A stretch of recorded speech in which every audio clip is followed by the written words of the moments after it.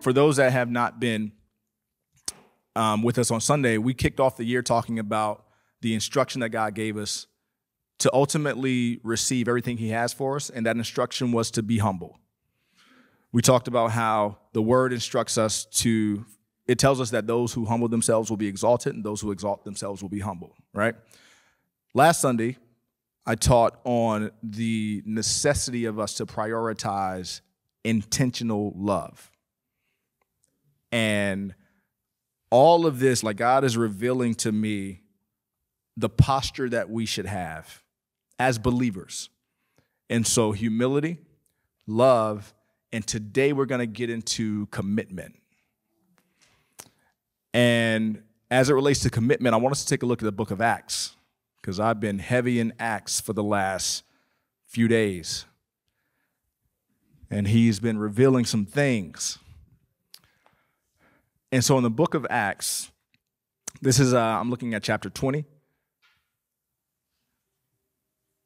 And I'm going to start at chapter, I'm sorry, chapter 20, verse 18.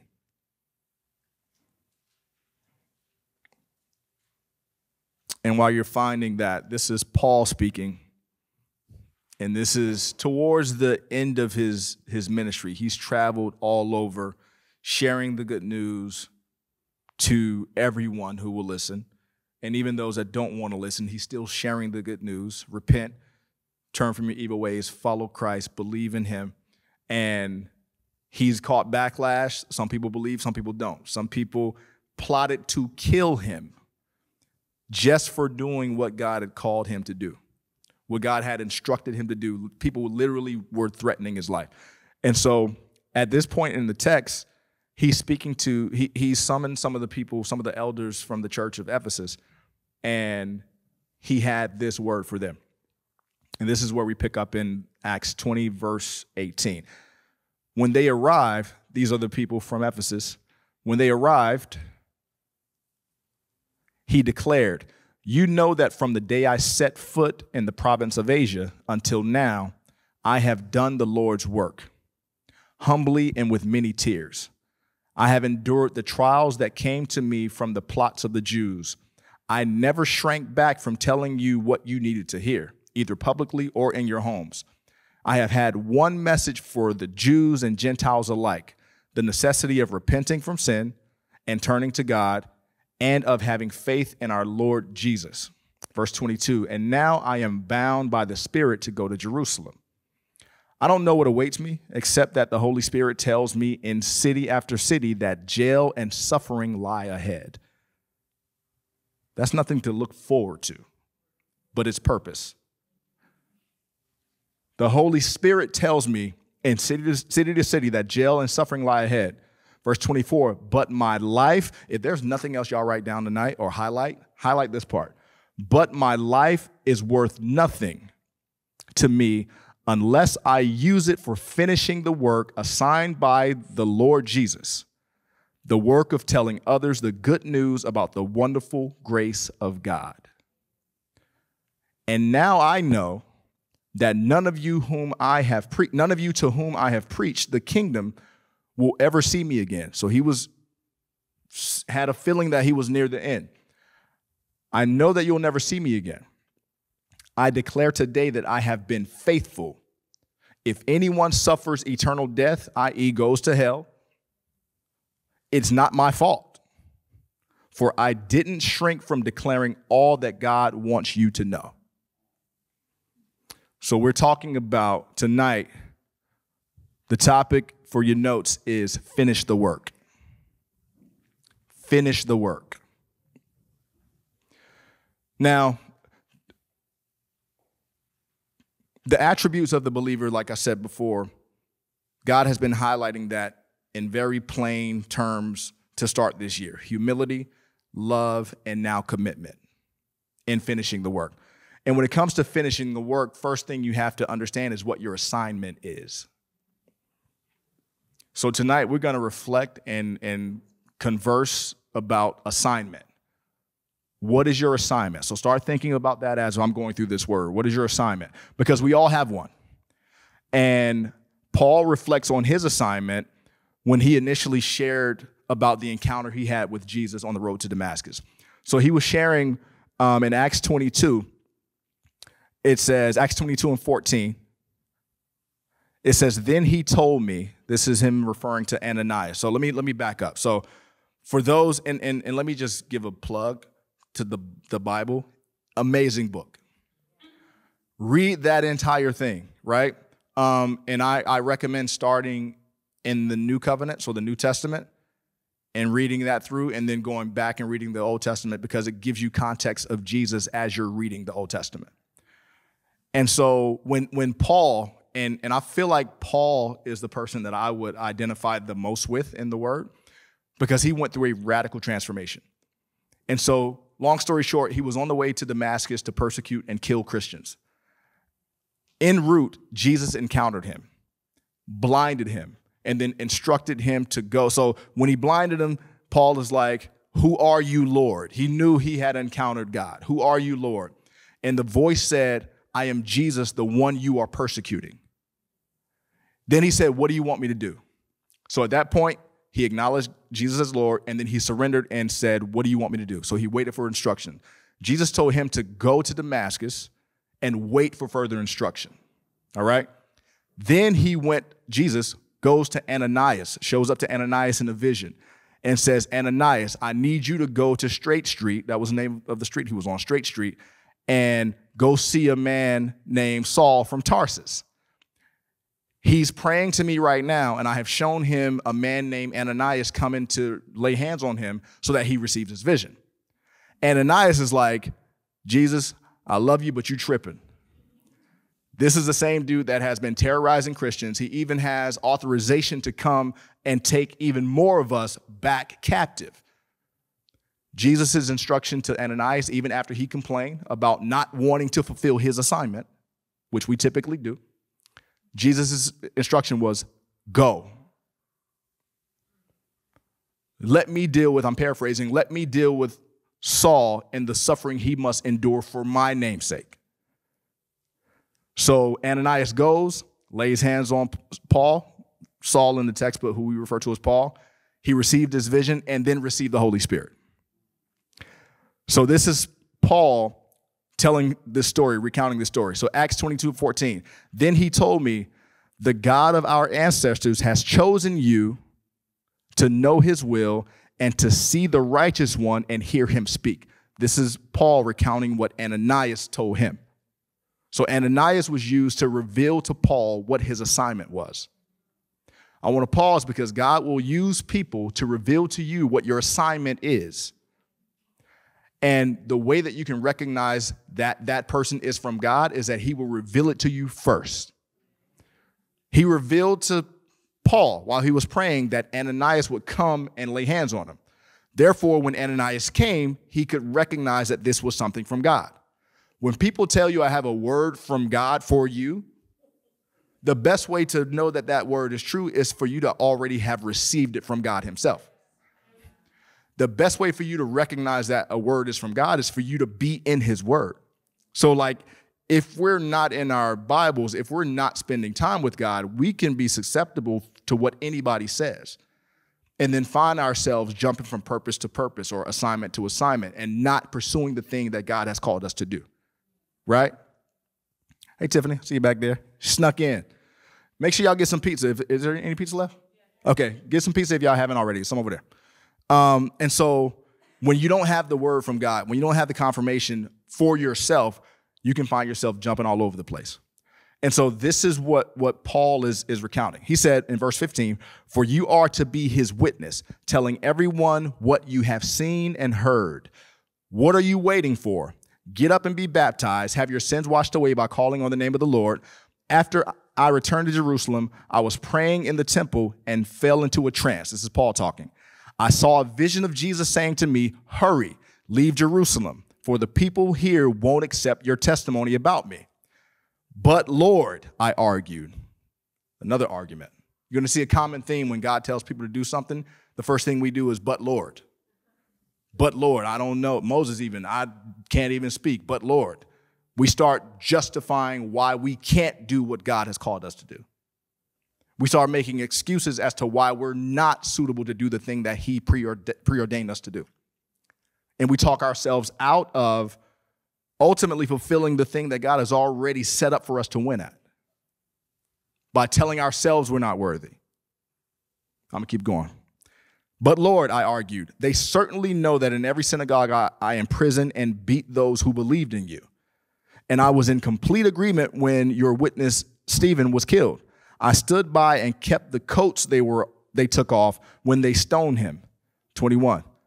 But the Lord said to me, Go. For I will send you far away to the Gentiles. All right. So, what's your assignment? What God showed me in this text was that we can find our assignment if we revisit the place we, where He first encountered us. So think back to your first encounter with Jesus. Not church, not religion, not judgment, not condemnation. Your first encounter with Jesus. And the text tells us that as we reflect back on that first encounter, there are clues that point to what our assignment is. My first real encounter with Jesus came to me when, like, right after I had crashed my car into a building from drinking and driving. I went home, I was living in LA.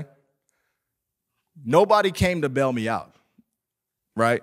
I had to call, I, I'm calling everybody I know. And for by the grace of God, they let me keep my phone long enough to get the important numbers out. So I'm calling everybody I know in LA. Nobody's answering. Nobody's responding. Nobody's coming. So I had to call my sister who was in Virginia and have her call a bail bondsman on three way to figure out a situation to get me out of jail because this ain't somewhere I'm trying to stay. I get home. My roommate at the time says, Oh man, you just need another beer.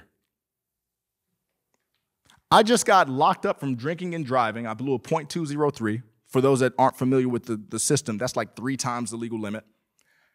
And the first thing this dude says is, You need another beer. I said, You know, there's certain things that I need. I don't think a beer is one of them. And at that time, I, I started to evaluate where I was in life and how all of my decisions had led me to this point. So I didn't know at that time I needed to surrender to Jesus, but I knew I didn't need to surrender to beer. So I said, I'm not drinking anymore. I'm not going to drink and drive anymore. I'll never forget, I had, it was as clear as day.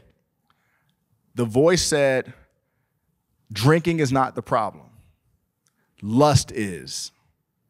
You just use alcohol as a means to numb yourself to my voice so you can pretend that I'm not here.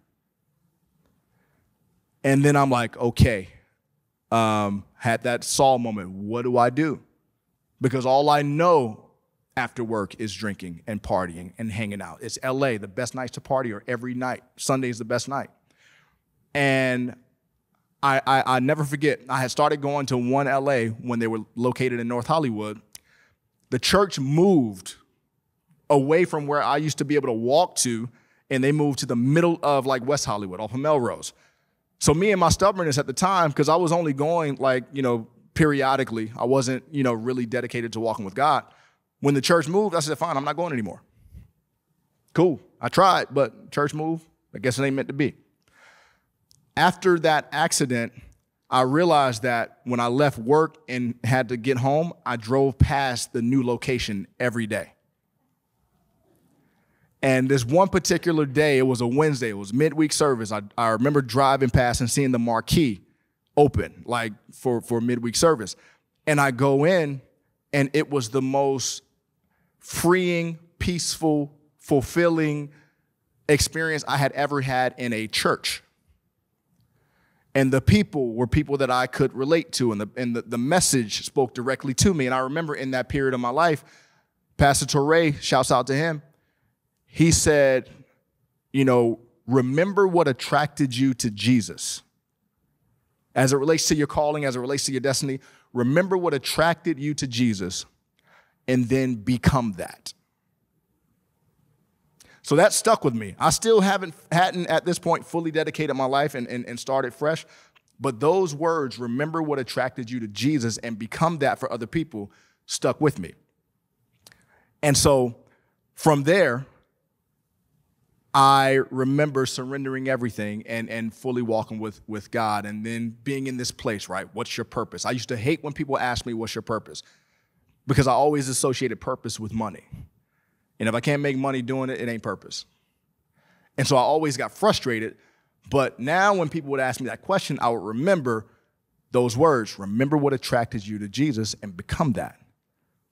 So I'm like, all right, cool. I'm just gonna, I'm joining the men's ministry. Like I, I I'm, I'm what attracted me to Jesus in that movement was the authenticity of, of, of the leadership and how the word was shared and it was non-judgmental and it was welcoming and everybody was was able to show up as they are right? And jesus moved and people's lives were transformed and i loved just the authentic nature of the ministry.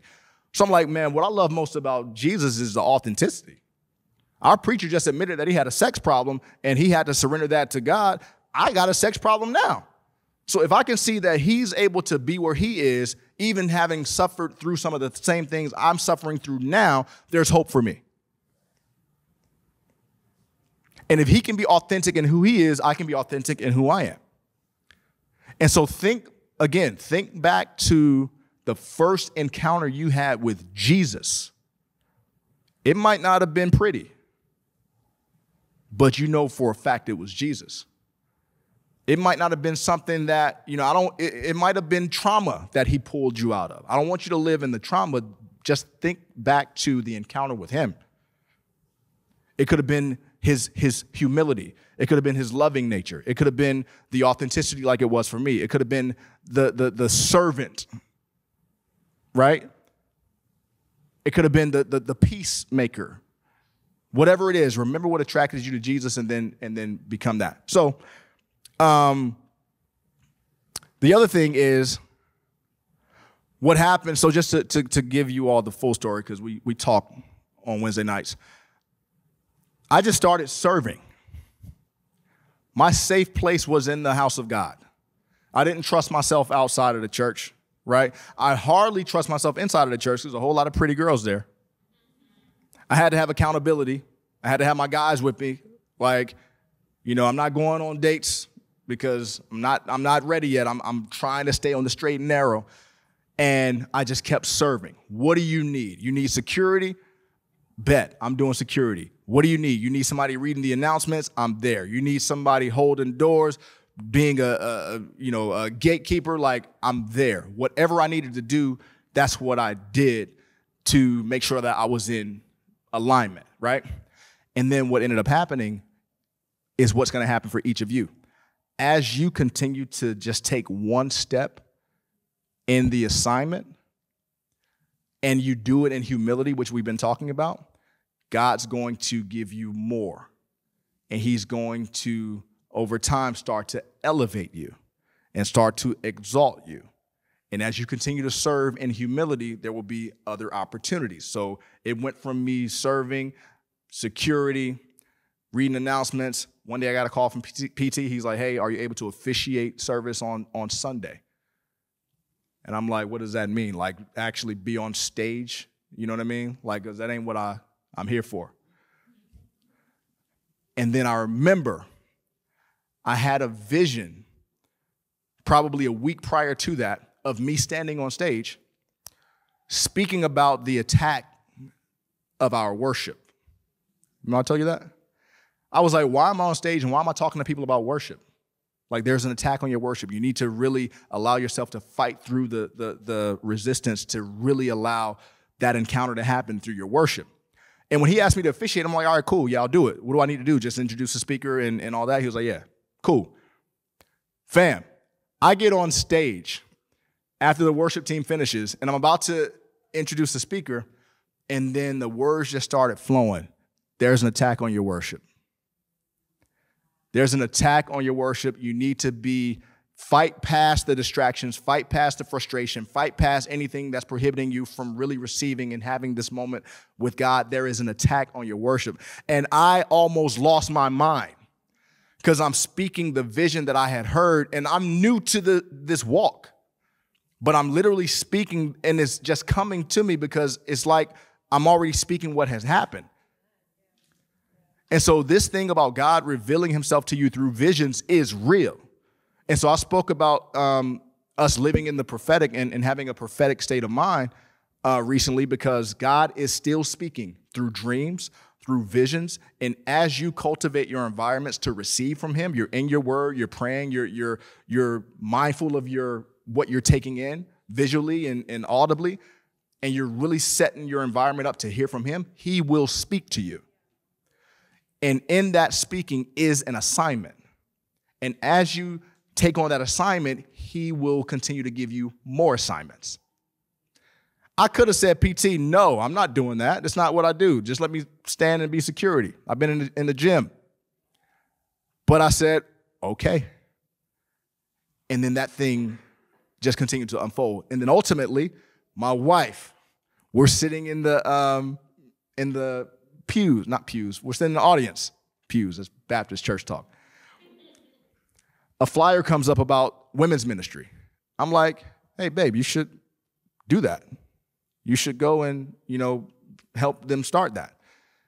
And so she's like, all right, she prayed on it, and then she started leading the, the, women's ministry. So now here she is leading the women's ministry. I joined the men's ministry. Next thing I know, the leader at the time, shouts out to Pierre, there's another one of my brothers. He's like, he looks at me, I'm brand new to the ministry. He looks at me, he was like, hey man, you, you look like you have a word for next week. I said, a word for what? He was like, nah, you got it. I'm like, all right. So that next week, I think I got the video somewhere. I have a Bible, I have a journal, I got like all types of notes, and I'm just up there just fumbling through, just trying to, you know, get through it. But I got some of the best feedback that night from people that were in seminary, from people that had been like, you know, raised in the church. They were like, dude, I can see you actually speaking on Wednesdays. I can see you actually leading and, and giving sermons. And I'm like, I don't know what y'all see, I just said yes to, you know, my man saying that I could give the word. And then I was overwhelmed. I started crying, not knowing, because I'm not the crying type of dude. And I'm just crying in this place, and they're praying over me. I had no idea that four years later, no, 19, five, six years later, that my wife and I would be getting ordained as pastors on my birthday in that same very church. But it all started with saying yes to the assignment. So, again, what is your assignment? There are clues in where you first encountered Jesus. Amen? Last thing I'll say is this. So the text revealed to me that we, we can oftentimes find confirmation in where we first encountered Jesus.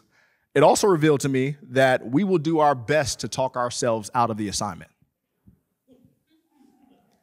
we will do our best to talk ourselves out of the assignment because if it's a God if it's a God assignment or God instruction, it is bigger than what you think you're capable of. And it's supposed to be. I've said it before. If you can do it and you can draw it out and see how it starts and how it ends, it's a you vision, it's not a God vision. And so we will typically talk ourselves out of things that make us uncomfortable because we can't see how it can happen in our own power. And the last thing that was revealed to, to me in this, in this uh, scripture, even as we try to talk ourselves out of it, when it's a God assignment, it won't leave you alone. You will still hear that word, okay, cool, you don't think you're good enough? Okay, go. Still go. And if you don't go, you're robbing yourself of an opportunity for God to use you in magnificent ways. If Ananias didn't go and, and do what he needed to do with, with Saul, Jesus could have used somebody else, but Ananias would have been robbed of an opportunity to be used in a way that transformed the life of one of the most iconic believers in history. So, the things that God has told you to do is telling you to do it's supposed to be bigger than you. It's supposed to feel like you can't do it because in your own power, you can't. You need the Holy Spirit to do what He's called you to do. And so when you hear the instruction, when you hear the assignment, when it's revealed to you, just go. Because the attributes of a true believer are that we're humble, that we live with intentional love, and that we do the work. And we're committed to it. Amen? So, questions to get the conversation popped off. What is your assignment? What is your assignment? Question two Are you committed to it, or are you in the process of talking yourself out of it? And lastly, how's that working for you? I'm going to welcome my wife up here to join me. Um, so I want to also encourage those that if you know your call, your your talent, your gift, your your calling, right? Because everyone's calling is to share the love of Jesus, share what Jesus has done in your life, and your respective talents is the avenue in which you can do that.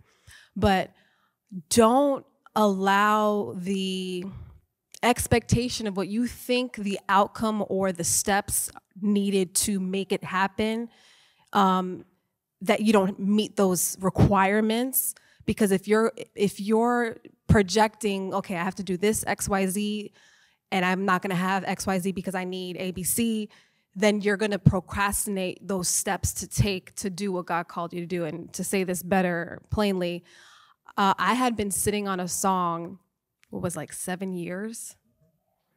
One song and I'm so spoiled in my career, in my previous career, that I'm used to having studio time. I'm used to the expectation is you need to have a, you know, your EPK, at least six songs minimum, and then you can release everything at once because the audience, people are going to want more.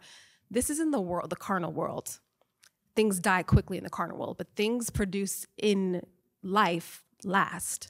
They don't die. So all it takes is just one thing, one song, one call, one call, whatever it is so I had been sitting on this song for seven years because I thought I need more songs. I can't just release one song. People are going to want more. And I would literally go through this internal war of like, I, I don't even want to sing anymore. I don't have enough. I, the song's not mixed. I don't have the instrumentations on it. I, I'm I'm talking myself out of it. And he would play it for me randomly, and I would start crying. Like, why are you playing me this song? It's not even mixed. You know, I'm talking about British. I'm like, it's not mixed. It's not to sound right. It's not to translate.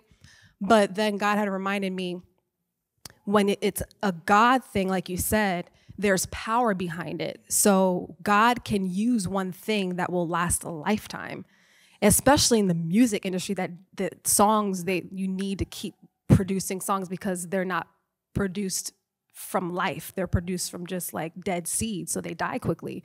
But something that God is doing in you, and I use music it is it's there's a life so it will live. And so i eventually after seven years release a song as it was. I'm like okay babe let's just do it. We got someone to mix it for us. Shouts out to brian kennedy. And the testimonies that are coming from this one song this one song. And it's not even about it's it's not millions of people haven't heard it. It's not making me money but it's setting captives free. And so you can't look at whatever you're producing from a carnal standpoint. It's about setting souls free. Because what whoever you're called to, people are going to see themselves in you. And your gift is just an avenue to introduce what Jesus has done in your life. Because our calling, we can't speak about, we can't speak about, oh, well, Jesus delivered Paul. Like they don't know Paul, but they know you. Jesus healed me from my anxiety. He healed me from my abusive past, and He can do that for you. And then, and that's what it is to spread the gospels. What is Jesus doing in your life right now? Don't pull up scripture. They don't know that. They haven't read the Bible, but they've seen you handle situations. So, putting Jesus on when the Bible says to put on Christ, like the armor, put him on, and then use your your charisma, your gifts, your friends to just constantly share and people are seeing and people are hungry. So whatever it is don't let it let the what you expect the outcome to look like keep you from just doing it. Who cares about if it's to make you money or not? Jesus, there's a life attached to what God produces.